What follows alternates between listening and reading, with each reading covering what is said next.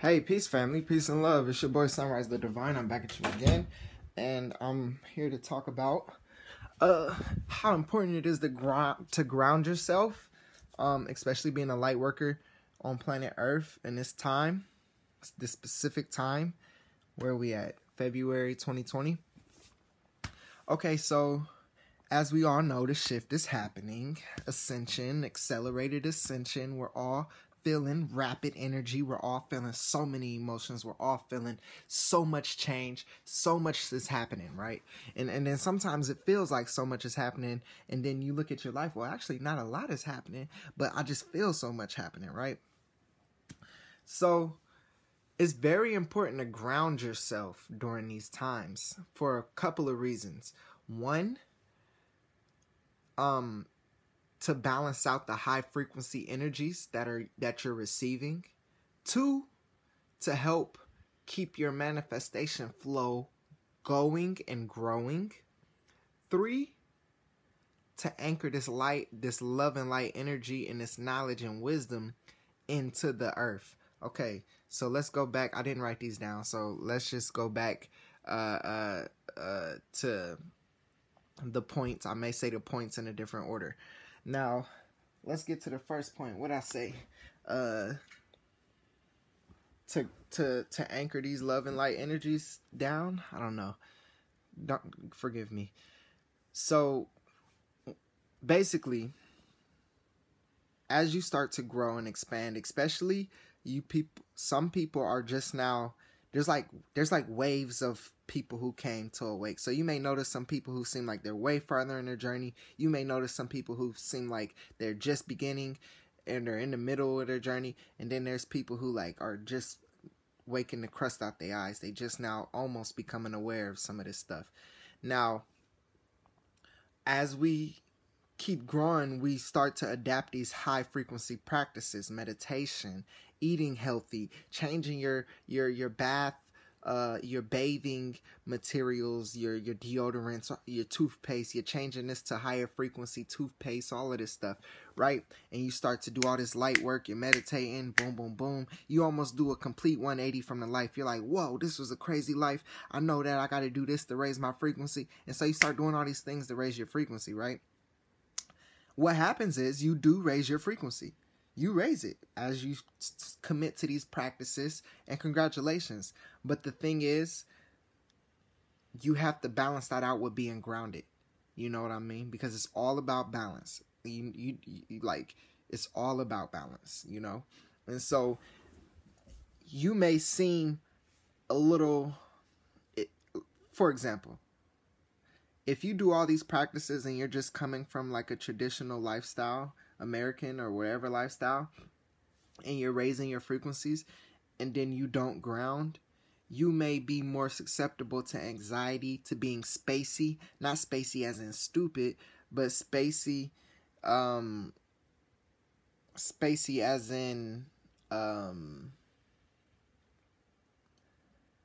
like you're just receiving so much if that makes sense. Like you like it's almost chaotic the the amount of downloads and thoughts you're receiving, right?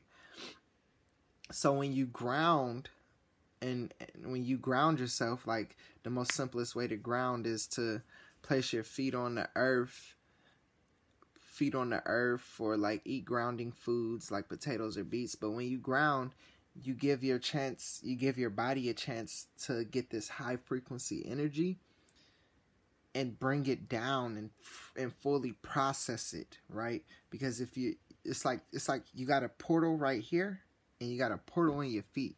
It's like when you're doing all these high frequency things, it's the energy is coming straight through your crown chakra to your body. Then when you ground, the the the the electrons of the earth and all of this all of the um all of the particles in the earth help bring it down. Not bring it down, but like help it settle. You get what I'm saying? Do you get me? Do you get me? Feel me? Sometimes I'm losing, I can't think of the right words to describe what I'm trying to say sometimes. So just work, try to feel me. Now, another reason is to help your manifestations flow.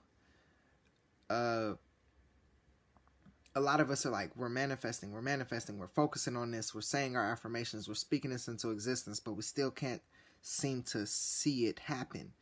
One, have patience, but two, you might have a problem with grounding, or you might not be grounding properly. Uh, so if you do seem to have issues with your manifestations, or they seem to be slower or or or not as quick as you like, start grounding more because you literally take this desire and make it like and you channel it down to the earth through your feet you know? Maybe you're not maybe you don't know that you're doing this intentionally when you're grounding but when you're grounding this is what's happening. All that high frequency energy is coming down and it's anchoring into the earth and the earth represents the physical. And so as you anchor it into the earth it just helps your manifestation flow into your reality now, another reason why it's important to ground is that third point. What I said is to anchor the high frequency light into Gaia, Mother Earth herself. As you know, Mother Earth is a being itself. She is, the planet is a conscious being, just like me and you.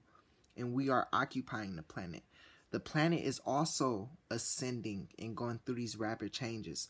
And it needs to um, absorb and integrate this high frequency light and energies, and we are the conduits in which that happens. So we could fill ourselves up with light and energies by doing all this meditation, yoga, and all that shit, but we gotta ground ourselves, meaning put your feet on the earth, put your hands on the earth, put your like eat some grounding foods, but the most important effective way to ground is to put your bare feet on the dirt, in the sand, in the ocean, in the water, in the lake, even the concrete. I know the concrete is not the best, most efficient way, but it's still earth. Earth still gets that energy, you feel me? But dirt and sand is the best way. So when you start to become more of a light being yourself, you're actually helping earth absorb that same light that you absorbed by grounding yourself. And when the earth gets this light, you know, it makes tremendous or monumental moves and shifts as well.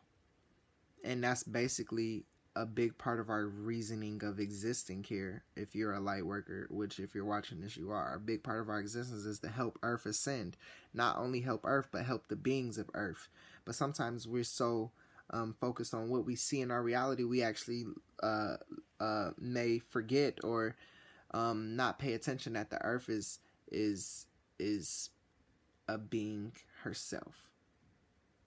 So it's very important to ground, help your anxiety, help your your manifestations flow, help your um your evolution in general.